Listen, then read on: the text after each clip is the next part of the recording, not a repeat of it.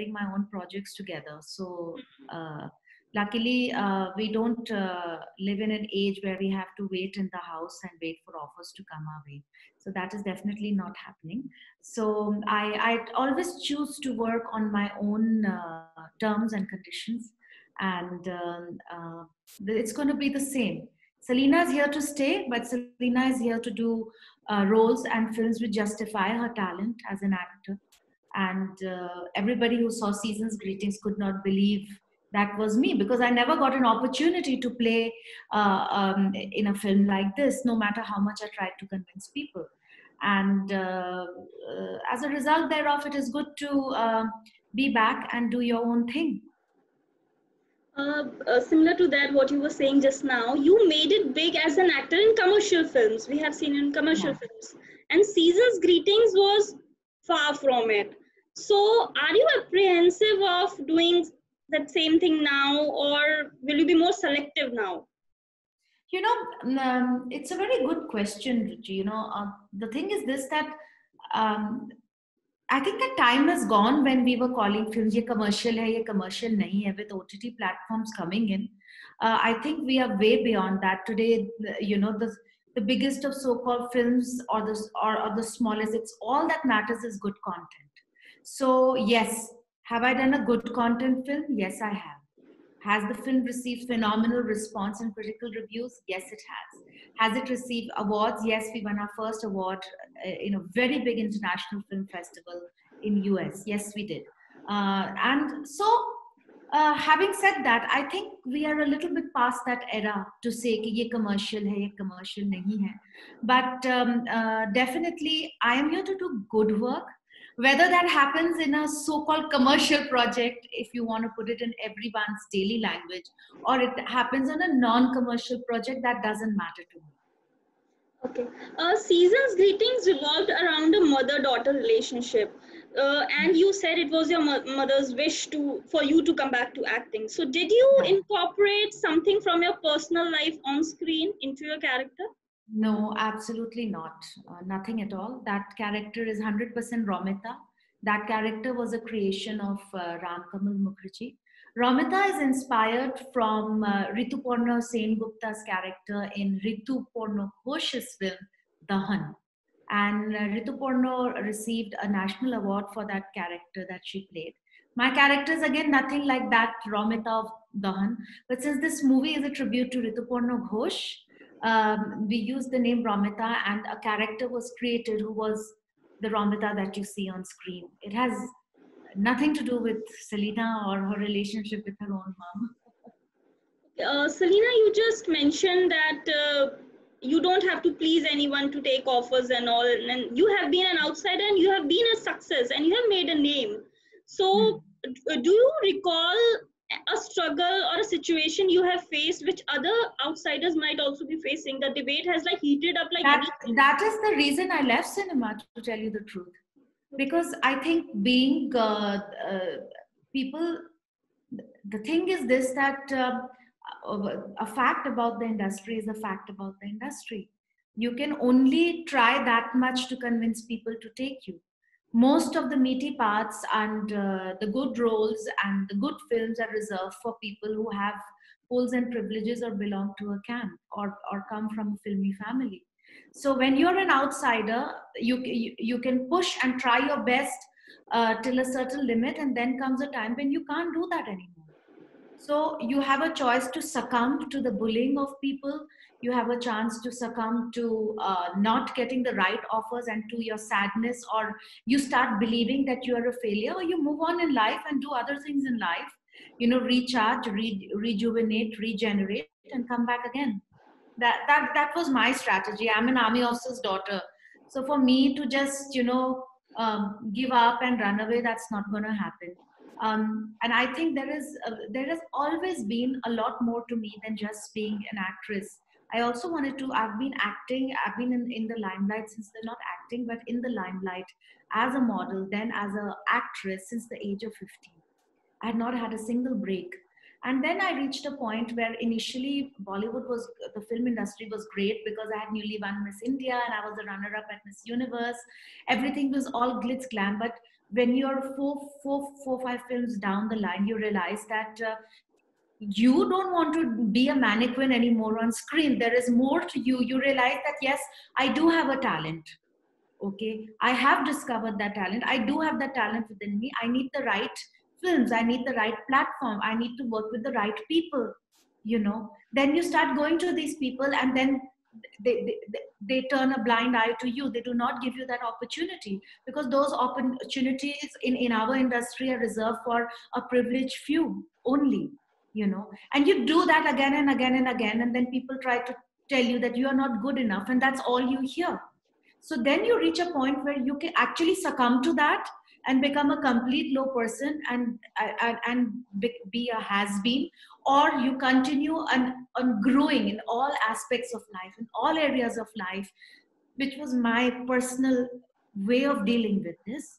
Not that i'm saying everybody should do that but my personal way coming from an army background i don't give up that easily. So for my way of dealing with this was okay let's take a break. Let's do other things in life. Let's let's live in another country. Let's work with united nations. Uh, let's follow the passion. I believe very strongly for lgbt rights and i was already an activist for so many years. And by that time i got an offer from un to be a spokesperson for them. And i i thought that this was a phenomenal new direction for me to to to grow myself to to experience this to follow my passion I had met my husband and I fell in love with him, and we had children, and we lived in many countries. I worked as a UN spokesperson. I, I, I worked on my music career. I, I continued writing. So I, I did a lot. You know, people think that just because you've taken a break from the screen, that is not your end all and be all. Every human being has so many different dimensions to them today you are uh, you are a phenomenal journalist. I'm sure you may you may have so many other talents as a woman that you wonderful woman you are. You may have a great talent to sing. You may be uh, you may love to be a great chef also on your other time. That doesn't mean that just because you are a ace journalist you can't do that as well. You can't grow in that, that direction as well you know. So for me it was all about personal growth and if i am not happy doing something and if i'm feeling that i'm constantly being put down i'm constantly being you know pushed into a corner and i don't have many allies whom do you turn to support to, for support to as an ally? Whom do you look for in support? You can only go to people.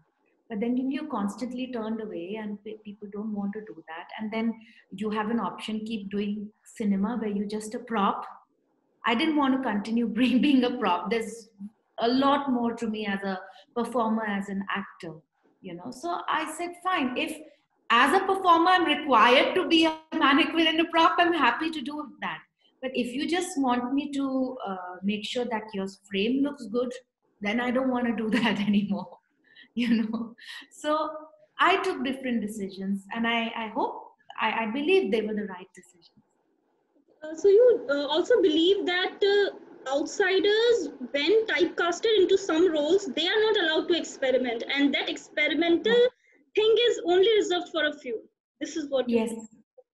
Yes absolutely. Um, I'll, I'll be very frank with you. Today a big um, established star's uh, son or daughter comes on board.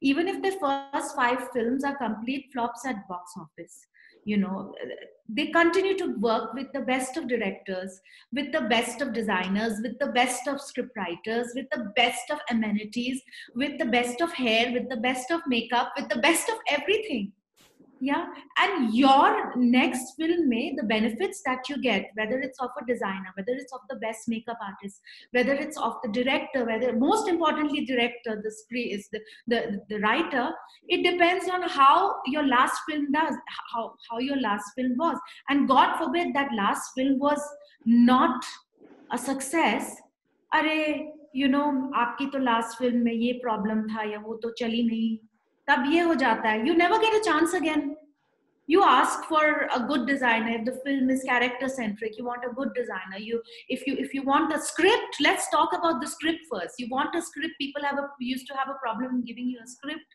for example कि अपने आप को बहुत बड़ा actor समझती है script चाहिए। You know so I have faced this not always but i started facing it after the first few years of my career because you know you you don't always and no actor has a success graph uh, in the beginning of their career which goes all the way up especially us women. So as it is it is difficult for women. It is very sad because it is such a loss of such great talent. It is such a loss. It is the loss of somebody's son. It is the loss of somebody's loved one. It is a loss of someone's brother. And it's a great loss to a film industry, a great talent who probably in the future one day may have even won India its first Oscar. You know, so you never know. So we will never get to know what capabilities would have someone like Sushant brought to the table. Um, I don't know what was the reason of his depression, but talking just about myself, my reason of depression was losing my parents and losing our son so it was a very different reason of depression. And um, depression is an illness. And it can be triggered into its worst forms by the energies that surround you. That is definitely there. Depression is a disease. It doesn't choose people by their uh, level of success or or or how uh, you know they look or how rich or how poor they are. Depression can happen to anyone it is a disease it is a disease it is not just a passing fancy कि जो हम लोग teenage में बोलते थे ना depression हो गया यू नो बॉयफ्रेंड से ब्रेकअप हो गया ये हो गया या क्लास में फेल हो गए या एग्जाम अच्छा नहीं गया डिप्रेशन हो गया depression can happen at any age to anyone it, it is a disease it is a clinical disease it must be treated one must get help one must get support system and it must not be ignored most important so, what do you think can help a person in such a situation? What should be done? How did you deal with it? If you share from your own journey, how did you come through it? Uh, for me, I um, I was surrounded by people who cared about me. My husband took great care of me. I got help from doctors.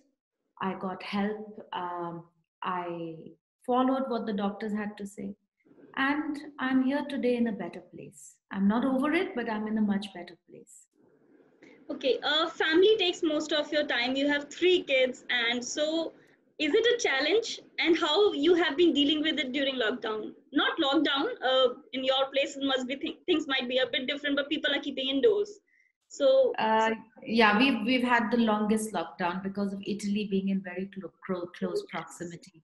Yes. so when italy was hit the hardest uh, we went into a lockdown at the beginning of March, end of January, beginning of March, with it with the Italian borders very close by. So we are very blessed to be living high up on the Alpine mountains. So it was much easier because you can step out and social distancing is uh, a reality because everybody stays very far away from each other anyways you know so that was the advantage we had we were surrounded by nature having said that um, i think it is a um, it is completely easy for anyone to balance their uh, professional and personal life also. In fact, I never imagined that I would be promoting a film in the middle of a global pandemic lockdown, you know. And most of my time in this so-called lockdown has gone in promoting season's greetings. I um, wake up in the morning, and then of course, you know, there are lineups, there are so many lives, and because it is my comeback film, and the film is doing so well on the international circuit, also, so they are, you know, because of the time difference, I have to do so many interviews. Sometimes it's early morning, sometimes in the middle of the night, sometimes it's in the whole afternoon.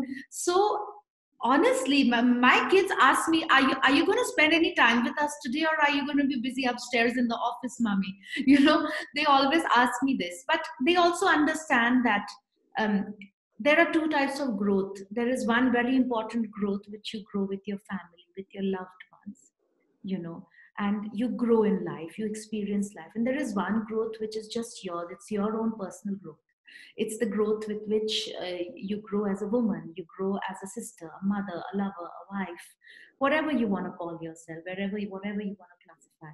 And for that growth to pursue your dreams, to pursue your personal ambitions, I feel is very important.